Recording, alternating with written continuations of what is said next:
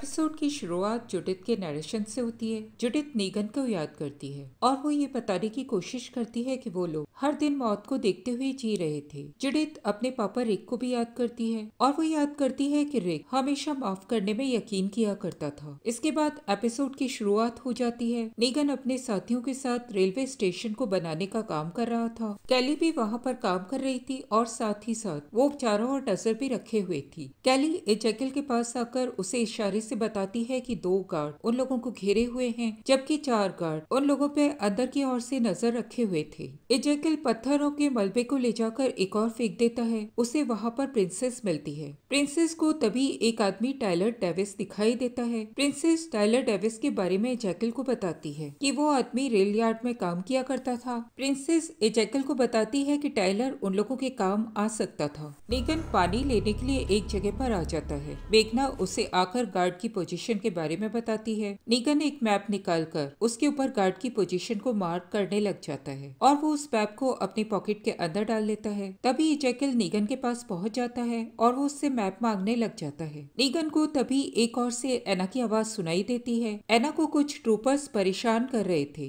नीगन एना के प्रेग्नेंट होने के बारे में सोचकर चिंतित हो जाता है और वो तुरंत ही एक ट्रूपर के पास जाकर उसे कहता है कि वो अपनी वाइफ के बदले में एक्स्ट्रा शिफ्ट करना चाहता है। कॉमनवेल्थ का ट्रूपर निगन की इस बात को मानने से मना कर देता है। तभी एक और ट्रूपर वहाँ पर पहुँच जाता है और वो निगन की बात को सुनकर उसके पेट में राइफल से ज़ोर से वार करता है। निगन उसी वक्त ट्रैक के ऊपर गिर जाता है। एना निगन को गिरते हुए देखती है और वो तुरंत ही दौड़कर निगन की ओर आने लग जाती है। ट्रूपर तुरंत ही एना को पकड़कर वहीं पर रोक लेता है। एना ज़ोर ज़ोर से निगन का नाम लेकर चिल्लाने लग जाती है। निगन ट्रैक पर पड़ा हुआ उसके और देखता रह जाता है, जबकि जैकल चुपचाप ये सब कुछ होता हुआ देख रहा था। एरन लीडिया जेरी और एलाइसा चारों ही जंगल में फंसे हुए थे। उन लोगों के आसपास कुछ वॉकर्स आ जाते हैं। एलाइसा लीडिया को उन वॉकर्स को मारने के लिए मना करता है, लेकिन लीडिया तुरंत ही आगे बढ़कर वॉकर्स को मार डालती है। एरन वॉकर्स के नए रूप को देखकर बहुत ज़्यादा परेशान था। वो उन सभी को अलर्ट रहने के लिए कहता है। तभी उन लोगों को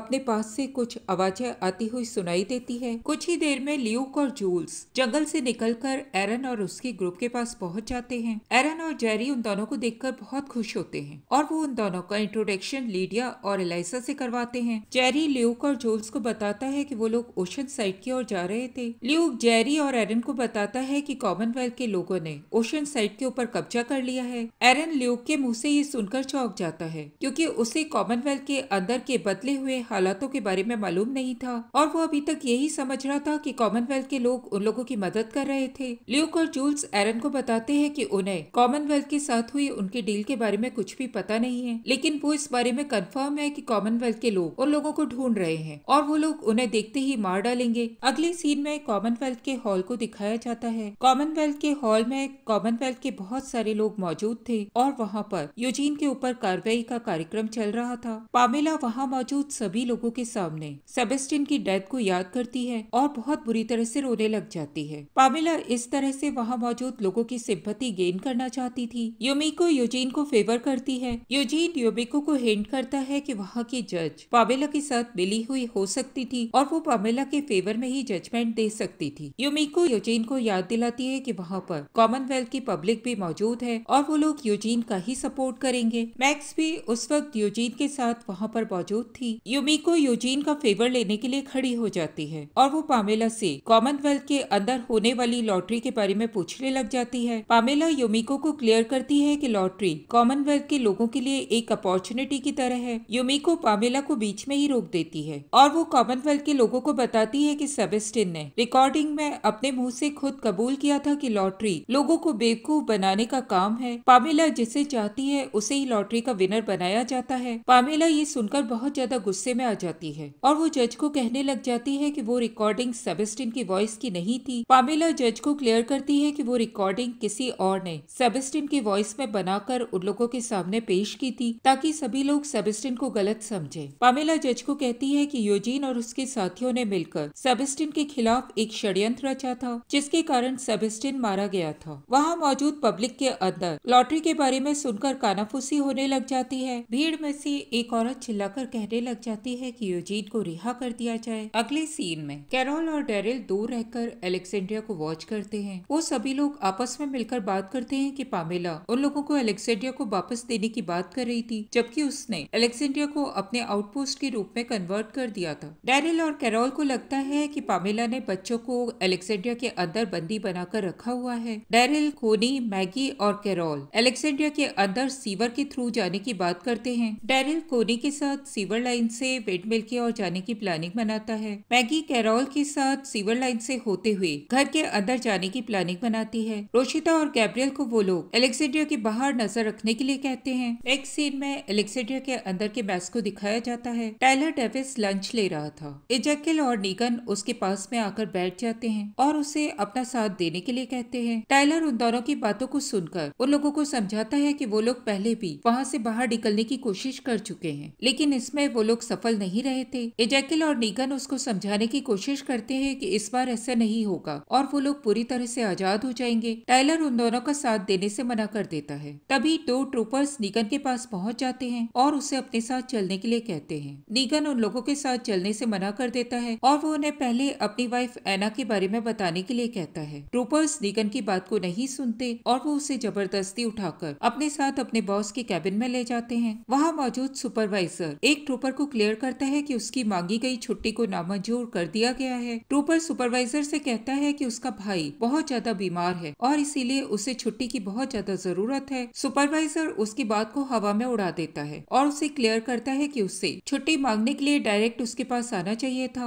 सुपरवाइजर उस ट्रूपर की ड्यूटी को एक्सटेंड कर देता है और उसे तुरंत ही वहाँ से जाने के लिए कहता है। नीगन सुपरवाइजर के सामने मौजूद था और वो दोनों के बीच की बातों को सुनकर मुस्कुरा देता है। सुपरवाइजर निगन के सामने एक मैप को रख देता है। ये वही मैप था जो कि निगन ड्रॉ कर रहा था और वो मैप निगन की जेब से रेल ट्रैक के ऊपर गिर गया था, जो कि बाद में ट्रूपर्स को मिल गया था। सुपरवाइजर निगन से उस मैप के बारे में पूछने लग जाता है। निगन सुपरवाइजर को बताता है कि वो उसके बारे में कुछ भी नहीं जानता और हो सकता है कि वो कोई ऐसा गेम हो, जिसे कि वहाँ मौजूद लोग खेल रहे हो। सुपरवाइजर निगन को क्लियर करता है कि उसे बेवकूफ़ ना समझा जाए, क्योंकि वो मैप को पढ़ सकता है और उसमें उसके गार्ड की पोजीशन को क्लियरली मेंशन किया गया है। सुपरवाइजर निगन को क्लियर करता है कि ये काम उसी के ग्रुप के एक आदमी का है। सुपरवाइजर निगन को एक लीडर समझता था और वो उससे इस बारे में बात करता है। सुपरवाइजर निगन से कहता है कि वो उसे एक ऑप्शन देता है कि अगर वो उसकी वाइफ से मिलना चाहता है तो उसे उस गद्दार को ढूंढकर उसके बारे में उसे बताना होगा। निगन सुपरवाइजर से उस गद्दार का नाम देने का वायदा करता है और सुपरवाइजर निगन को एना से मिलने का मौका दे देता है। एना निगन को अपने सामने देखकर चौंक जाती है। एना निगन से सुपरवाइजर के बारे में बात करती है। निगन एना को समझाने की कोशिश करता है कि वो उसे गलत ना समझे, क्योंकि वो जो कुछ भी कर रहा है, वो सभी लोगों के भले के लिए कर रहा था। अगले सीन में डेरिल को सीवर लाइन में उतरते हुए दिखाया जाता है। डेरिल और कोनी सीवर लाइन से होते हुए आगे की ओर बढ़ने लग जाते हैं। इधर मैगी और कैरोल भी सीवर लाइन से होते हुए एक ट्रूपर की आँख बचाकर बिल्डिंग के अंदर घुस जाते हैं। मैगी और कैरोल बिल्डिंग के ऊपर पहुँच जाते हैं। उन लोगों को वहाँ पर एक ट्रूपर दिखाई देता है। कैरोल उस ट्रूपर को बेहोश कर देती है और वो दोनों उस ट्रूपर को खींचकर एक और कर देते हैं। अगले सीन में एरन और उसके पूरे ग्रुप को दिखाया जाता है। वॉकर्स उन लोगों के पास अभी तक आ रहे थे और वो सभी लोग मिलकर उनका सामना कर रहे थे। ल्यूक उन लोगों को बताता है कि कॉमनवेल्थ के लोगों ने ओशन साइड के ऊपर हमला कर दिया था।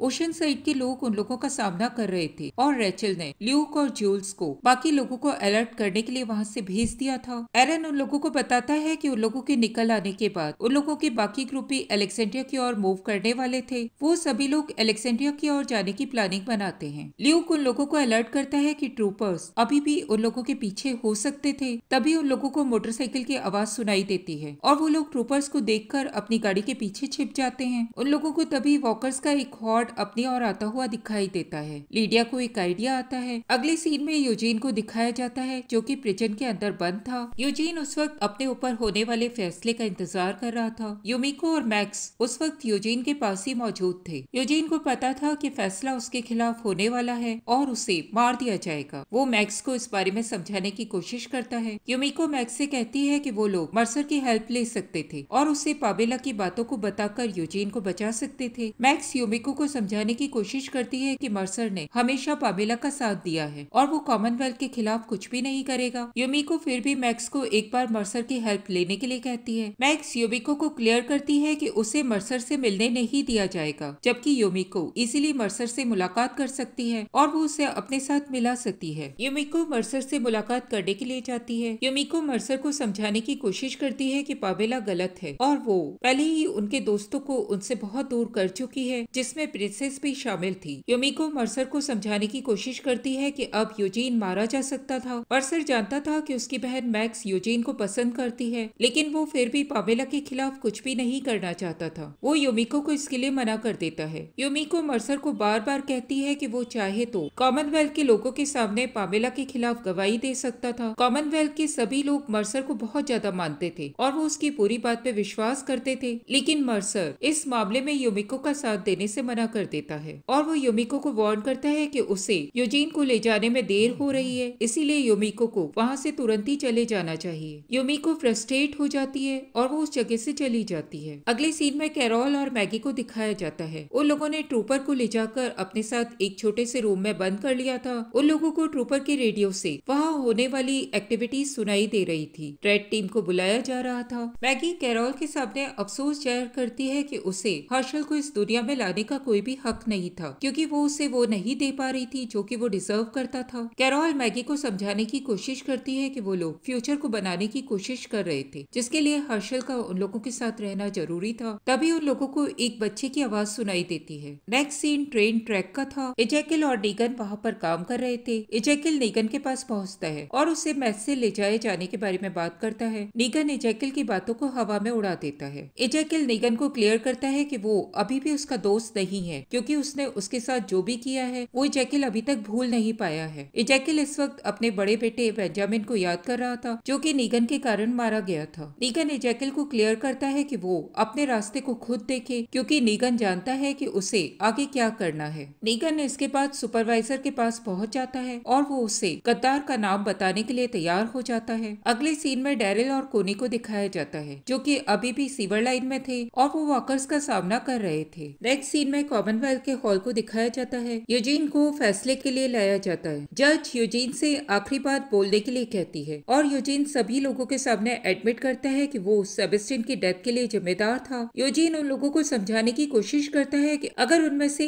एक आदमी भी न्याय के लिए खड़ा हो जाए तो वो पूरी दुनिया को बदल सकता है। जज यूजीन को मृत्युदंड का फैसला सुना देती है और वो उसे उसी वक्त दंड देने के लिए कहती है। मैक्स और युबिको जज के इस फैसले को सुनकर परेशान हो जाते हैं। अगले सीन में जैकिल को सोते हुए दिखाया जाता है। उसे ट्रूपर्स उठा देते हैं। ट्रूपर्स बाकी सोए हुए लोगों को भी उठाकर एक कॉमन जगह पर लेकर आ जाते हैं। सुपरवाइजर उन सभी लोगों का वहाँ पर वेट कर रहा था। सुपरवाइजर उन लोगों को क्लियर करता है कि उसे उन लोगों के बीच में छिपे हुए गद्दार के बारे में पता चल चुका है और अब वो उस गद्दार को लोगों के सामने इस तरह से सजा देना चाहता है ताकि कोई भी आगे उन लोगों के साथ गद्दारी न करे। इजेकिल सुपरवाइजर के मुँह से ये सुनकर परेशान हो जाता है। तभी ट्रूपर्स निगन को सामने लेकर आ जाते हैं। इजेकिल को पता चलता है कि निगन ने अपने आप को सुपरवाइजर के हवाले कर दिया था। एना भी ये देखकर बहुत ज़्यादा परेशान हो जाती है। निगन दूर से एना की इस हालत को देखता है और वो उसे समझाने की कोशिश करता है कि वो शांत रहे। निगन उसे बताता है कि वो अभी भी उसे बहुत ज़्यादा प्यार करता है। निगन को बहुत मारा गया था। सभी ट्रूपर्स उसके सामने गन लेकर तैयार हो जाते हैं। तभी सुपरवाइजर एना को रोते हुए देखता है और वो तुरंत ही उसे लाइन से बाहर निकालकर निगन के बाजू में लाकर खड़ा कर देता है। सुपरवाइजर वहाँ मौजूद सभी लोगों को क्लियर करता है कि यहाँ पर कोई भी शहीद बनने के लिए नहीं आया है और वो एना को नीगन के आँखों के सामने मारेगा, ताकि नीगन को उसकी मौत को देखकर यह एहसास हो कि उसने जो भी किया है वो गलत किया है। सभी ट्रूपर्स एना को अपने निशाने पर ले लेते हैं। नीगन एना को इस तरह से देखकर चिल्लाने लग जाता है और वो लोगों को गोलियाँ चलाने से मना करता है। इजेकिल सिचुएशन को देखता है और वो भी